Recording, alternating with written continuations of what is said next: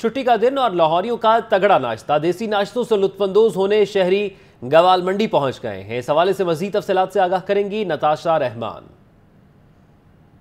जी बिल्कुल, इतवार का रोज़ हो और बाहर का नाश्ता हो तो लाहौरियों की जो है वो मौज हो जाती है। जी बिल्कुल, इस वक्त मैं मौजूद हूँ ग्वाल मंडी में और यहाँ पर शहरियों की एक बड़ी तादाद जो है वो नाश्ता करते नज़र आ रहे हैं। कोई नान चने खा रहा है तो कोई गर्मा गर्म चाय पी रहा है और साथ ही साथ जो है वो लस्सी भी पी जा रही है।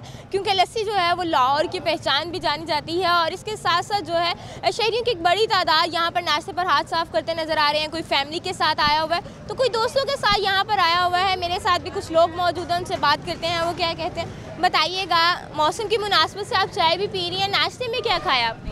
नाश्ते में सिरी पाए खाए हैं।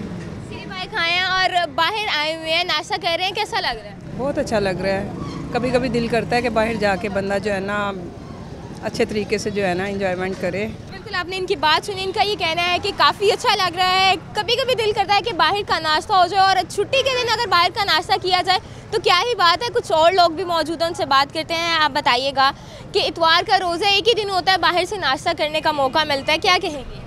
जी इतवार को हम अक्सर जो है ना बाहर नाश्ता करने आते हैं और बड़ा इंजॉय करते हैं। आज सिरी पाए खाए हैं और चाय पी है हमने।